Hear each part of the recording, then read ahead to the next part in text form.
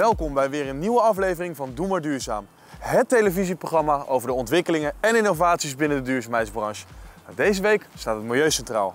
In deze aflevering ga ik jou laten zien hoe milieuvriendelijke machines worden ingezet om de medewerkers te ontlasten. Ook gaan we jou laten zien hoe het afval gewogen wordt, verwerkt en daarna beheerd. Maar als eerste SPA Groep en Aventus. Zij gaan jullie alles vertellen over het opleiden van medewerkers in de milieubranche. Afval is een probleem en kan gevaarlijk zijn voor mens en milieu. Door meer kennis te delen over duurzaam omgaan met grondstoffen voorkomen we afval en ontlasten we het milieu. Dat zijn redenen waarom er meer professionalisering nodig is in de branche van het afvalbeheer. Hierover praten we met Ronald Ravenstein en Wouter Jansen van de SPA-groep. Zij bieden in samenwerking met Jan Buizert van Aventus dit onderwijs aan. Het is belangrijk dat medewerkers beter opgeleid worden, want hun vak is sterk in ontwikkeling. Afval is een probleem. Sommige mensen zeggen afval is grondstof. Dus we hebben heel veel te doen om de afvalstoffen op een goede, gescheiden manier uh, te kunnen hergebruiken. En de vuilnisman, de oude vuilnisman bestaat niet meer. Dat is eigenlijk een milieumedewerker geworden, een deskundige. Die moet weten wat hij met die afvalstoffen, wat er allemaal mee moet gebeuren. Die moet weten hoe dat gescheiden ingezameld moet worden. De, de hele sector, uh, waar van oudsher waren veel mensen die ongeschoold waren, was ook eenvoudig werk, maar dat is het niet meer. Het duurzame voordeel voor medewerkers is het behalen van een erkende MBO-opleiding. Hierdoor staan ze sterker in de arbeidsmarkt. Diverse branches veranderen in hoog tempo en daarom is het belangrijk om je medewerkers relevante scholing te bieden. Hierdoor wordt je personeel duurzaam inzetbaar. Wij bieden onze medewerkers eh, deze mooie kans om een MBO-diploma te halen. Doordat eh, er ehm, nou ja, strengere eisen zijn gekomen aan het uitvoeren van eh, het vak van vuilnisman. Vroeger kon je dat zo worden. Tegenwoordig heb je daar meer kennis voor nodig. Vandaar de MBO-opleidingen 1 en 2. Technologische ontwikkelingen vragen daarom, maar ook een stukje communicatie in de wijk. Nou, de bedrijven, zoals de afvalbedrijven, maar ook de bedrijven die uh, verantwoordelijk zijn voor het beheer van de openbare ruimte, die spelen hierop in door nog eens kritisch te kijken naar hun processen, hun organisatie, hun structuren. Maar vooral ook naar uh, de medewerkers, uh, strategische personeelsplanning of bijvoorbeeld door het maken van een goed opleidingsplan, waar deze beroepsopleiding onderdeel van is. Amber is ontstaan in samenwerking met de branchevereniging, werkgevers, werknemersorganisaties. En gezamenlijk een heel mooi traject geweest om dit nieuwe beroep te ontwikkelen. Uh, dat biedt nu de mogelijkheid dat de hele branche naar een hoger niveau kan. Want met beroepskrachten kun je verder in ontwikkeling, kun je beter dienstverlening bieden, hogere kwaliteit, het afval beter scheiden, het beheer van openbare ruimte beter organiseren. Dus dat gaat een algehele kwaliteitsimpuls geven. Op latere leeftijd alsnog een beroepsopleiding volgen is best een hele opgave. Opleiden zorgt voor werkbehoud door functiepersoonlijke en algemene ontwikkeling. Hierdoor kunnen medewerkers meekomen in de maatschappij en zijn ze duurzamer inzetbaar. We nemen een kijkje bij Jan Buizert van Aventus. Nou, op dit moment kunnen leerlingen alleen kiezen uit de niveau 1 en 2 opleiding, BBL. Niveau 1 en 2 is, als je nog geen vooropleiding hebt, moet je niveau 1 beginnen. Als je een vooropleiding hebt, dus een VMBO of een niveau 1 diploma, kun je met niveau 2 beginnen. En het is allemaal BBL, dat wil zeggen dat ze een baan moeten hebben en één dag in de week naar school toe gaan. In de toekomst wordt dat uitgebreid met meer opleidingen. Het is niet alleen dat mensen een betere beroepsopvatting krijgen, maar ook dat ze in de maatschappij gewoon weerbaarder zijn en zichzelf staande kunnen houden. En daar is onderwijs voor.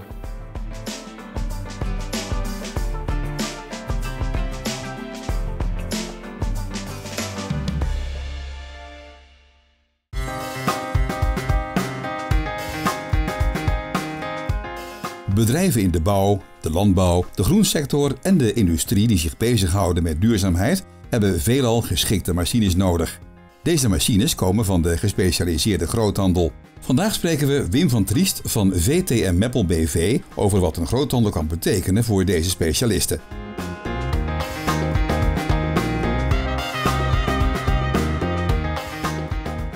Nou, met name in de groensector kan deze machine heel veel toegevoegde waarde betekenen. Kunnen hem gebruiken op een gegeven moment voor het opruimen van takken, voor het opruimen van bladeren. Ook in het uh, onderhoud van fietsen en wandelpaden. Uh, gezien de compactheid van de machine en de veelzijdige inzet zijn ze daar allemaal voor te gebruiken.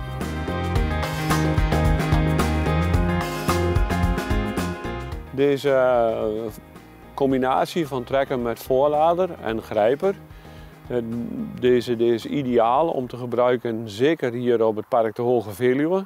Om dus op een gegeven moment nadat er stormschade en dergelijke geweest is, om uh, wegen en paden snel weer vrij te maken op een gegeven moment voor het publiek. Deze trekker op de Hoge Veluwe die wordt hier gebruikt met een voorlader. Die voorlader die kan aan en afgekoppeld worden. De tractor aan zich wordt daar veelzijdiger door. Je kunt veel meer werkzaamheden kun je uitvoeren. Nou, doordat je dus gebruik maakt van één enkel apparaat, dat je uitbreidt met in feite een doelmatig werktuig, uh, gebruik je dus één machine. Dus dat betekent minder brandstofverbruik, minder vervuiling, uh, minder beschadiging in de natuur. Sowieso beter voor het milieu.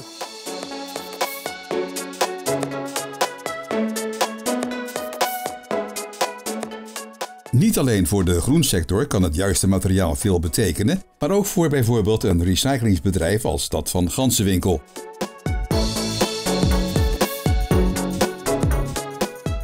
Hier wordt met deze machine het terrein schoongemaakt om bij te dragen aan een duurzamer afvalbeheer. Het materiaal wordt dus allemaal opgevangen in deze grote opvangbak die hiervoor zit. En wanneer de opvangbak vol is, dan wordt hij dus op een gegeven moment naar een plek toe gebracht waar het restafval dus uh, liggen mag. Deze machine die, uh, is vooral op een gegeven moment duurzaam omdat het een, een werktuig is wat dus ook door deze laadschop wat erachter zit opgenomen kan worden. Zonder dat er dus extra nog weer een machine voor aangeschaft hoeft te worden. Die dus ook brandstof gebruikt, die milieu vervuilt en dergelijke. Het is een toegevoegde waarde voor dus de laadschop en die kan ook dan ten alle tijde ingezet worden om dus uh, schoonmaakwerkzaamheden te verrichten. Het is een ontlasting voor de medewerkers omdat heel snel en effectief zeer grote oppervlaktes geveegd kunnen worden.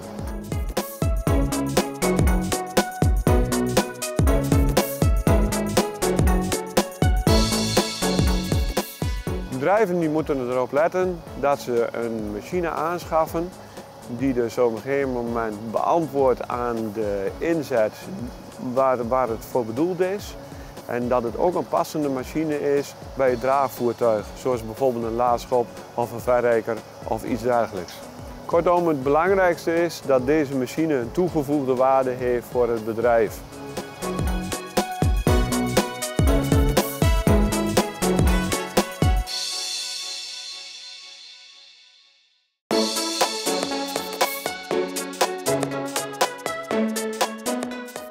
Afval- en reinigingsbranche levert een belangrijke bijdrage aan milieudoelstellingen, leefbaarheid, volksgezondheid en de Nederlandse economie. Bij alle maatschappelijke activiteiten komt afval vrij. Om nadelige effecten te voorkomen is het van groot belang dat het vrijgekomen afval wordt ingezameld, hergebruikt en op een juiste manier wordt beheerd en verwerkt. We zijn op bezoek bij AE Weighing Systems en praten met Walter van der Vliet over mobiele geëikte weegsystemen.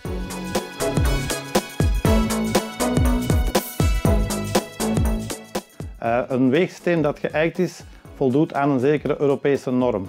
Dat wil niet zeggen dat het alleen maar op- en afladen is, maar dat het ook zo is uh, dat onder bepaalde omstandigheden altijd het juiste gewicht moet verschijnen. Van het moment als er gewicht op kan, voldoet het aan de toleranties die voorzien zijn in de Europese norm. Je hebt daar twee mogelijkheden. Het automatisch ledigen, dus de particulieren zetten gewoon een container buiten.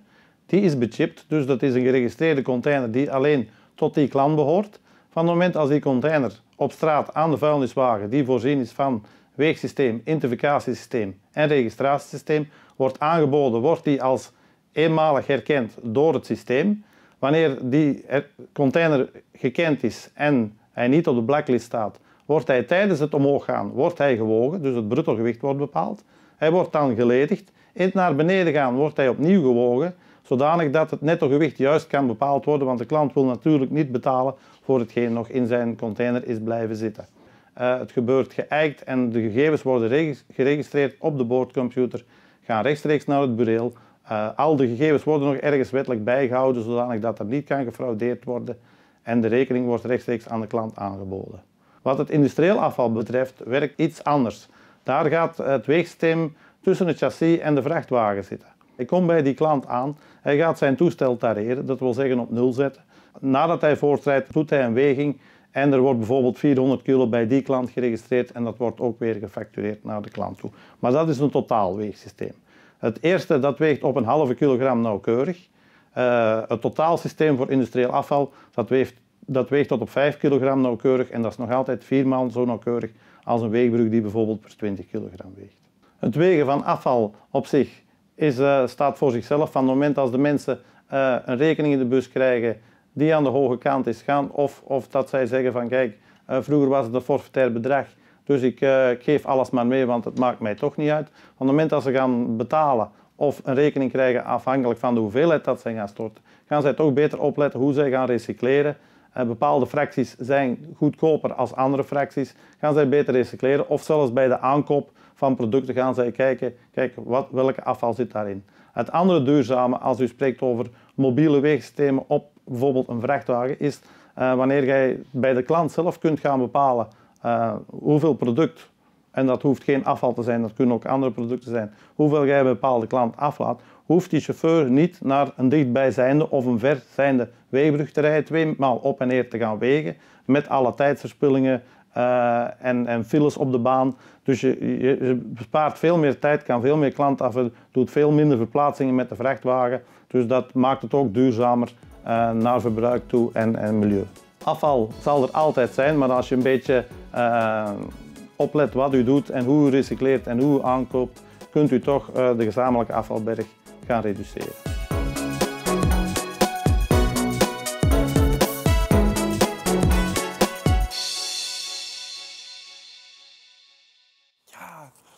We gaan nu eerst naar de reclame. Maar na de reclame ga ik jullie laten zien welke milieuvriendelijke ontwikkelingen er zijn binnen de landbouwsector. Doe maar duurzaam wordt mede mogelijk gemaakt. Nou, welkom terug bij Doe maar duurzaam. Ik ga jullie zo laten zien welke tape er speciaal ontwikkeld is voor teelmethodes. Maar eerst gaan we naar Agrifec. Dit zijn landbouwmachines die bijdragen aan een beter milieu.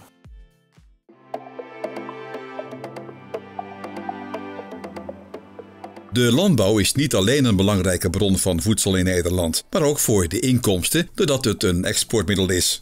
Om aan alle vragen te kunnen voldoen is er een hoge efficiënte productie nodig, terwijl er steeds minder geschikte landbouwgrond is. Peter Millenaar van AgriVac geeft zijn visie over wat de meerwaarde is van innovatie, milieuvriendelijke en gemakkelijk bedienbare machines binnen de landbouw.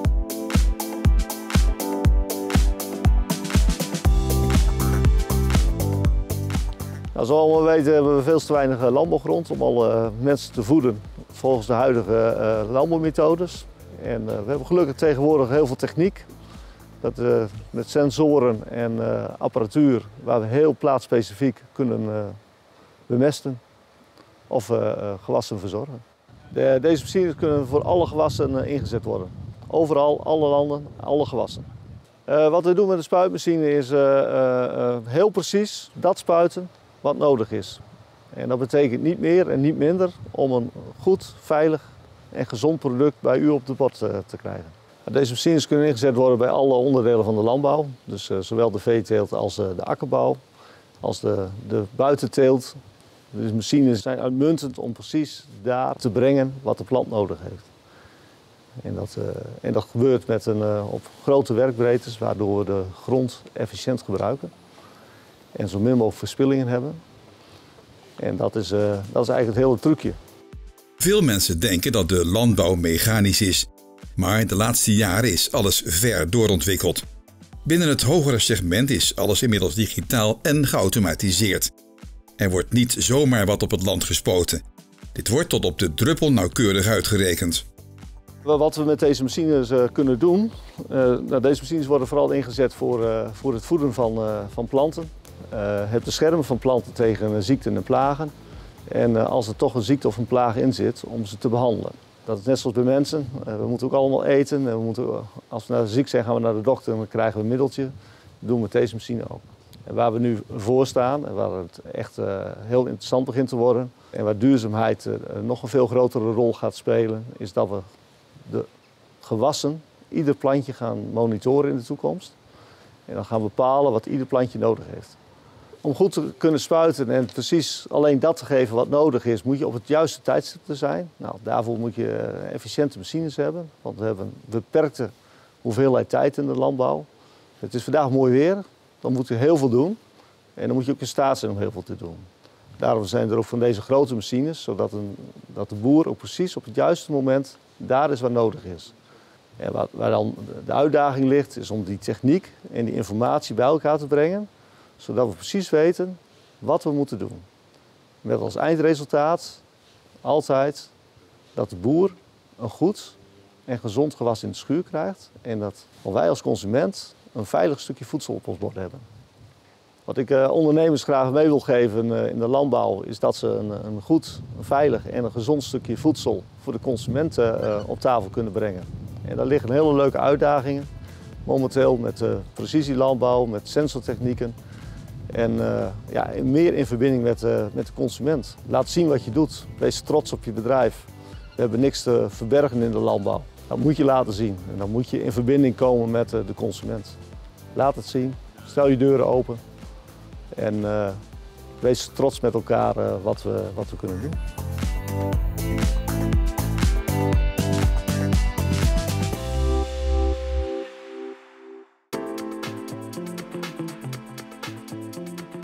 De landbouw is over het algemeen een van de grootste verbruikers van zoet water. Wereldwijd hebben 1,6 miljard mensen nauwelijks toegang tot water en in 2025 zal het stijgen tot 2,8 miljard.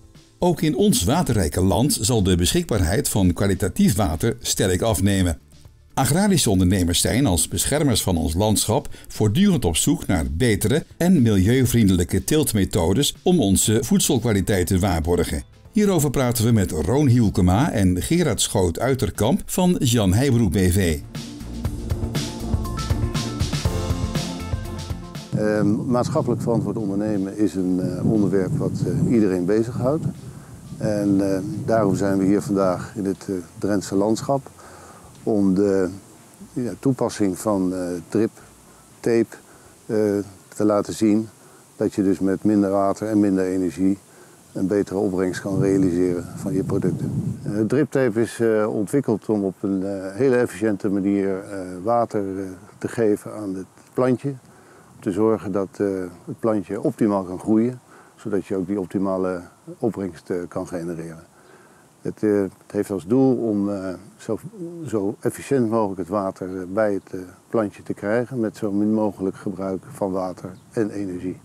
Nou, de driptape is een flinterdun uh, polyethyleen slangetje waarin een high-tech lintje gelast is die ervoor zorgt dat op grote lengtes het water uniform verdeeld wordt uh, bij de plant. We staan hier nu midden in een aardappelveld waar, we, waar de tape aangebracht is op circa 10 centimeter boven de knol. Op deze manier kan het water heel nauwkeurig toegevoegd worden. Het is net als bij mensen dat uh, je geeft een baby niet gelijk een grote hoeveelheid uh, voedsel, maar uh, beetje bij beetje. Dat is wat hier ook gebeurt. Zoals u wellicht kunt zien, ziet u een kleurverschil tussen de percelen aardappelen. Het eerste gedeelte wat wat lichter kleurt, heeft in een vroegtijdig stadium een beetje water gehad, waardoor de mineralisatie eerder op gang gekomen is. Om nauwkeurig de vochtigheid en de temperatuur in de rug te controleren, hebben wij sensoren geplaatst die we draadloos uit kunnen lezen. Zodat de teler informatie heeft over de temperatuur en de vochtigheid in de grond.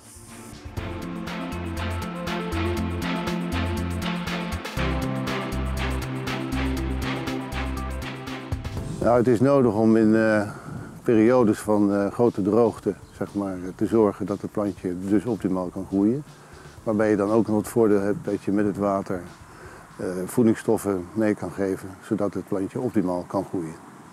In principe kan uh, iedere agrarische ondernemer in landbouw, in de groente, uh, gebruik maken van deze tape. Het is een geringe investering die ervoor zorgt dat uiteindelijk een beter rendement gehaald kan worden. De besparingen die met deze tape behaald kunnen worden zijn 70 tot 80 procent. Alleen al op water. Maar daarnaast kunnen ook enorme besparingen behaald worden omdat er minder fossiele brandstoffen gebruikt worden ten opzichte van de traditionele beregening. De traditionele beregening is eigenlijk met een groot kanon water over het gewas brengen. Daar worden zware motoren voor gebruikt die, eh, die veel brandstof gebruiken. Met gebruik maken van deze techniek is het fossiele brandstof wat men gebruikt maar een tiende van wat normaal gebruikt wordt. De consument moet zich eh, realiseren dat eh, het water uit de kraan niet ongelimiteerd is. Eh, ook wij krijgen te maken met watertekorten in de toekomst. Door het gebruik maken van deze techniek belasten wij ons milieu veel minder. De uitspoeling naar het grondwater van diverse meststoffen en gewasbeschermingsmiddelen is vele malen minder. Maatschappelijk verantwoord ondernemen is natuurlijk niet iets wat voor de hele korte termijn is en voor het succes van een onderneming. Maar het is natuurlijk veel breder en het gaat veel dieper. Dat het op de lange termijn uiteindelijk uh, zorgt voor uh, een betere wereld en een betere toekomst voor ons allemaal.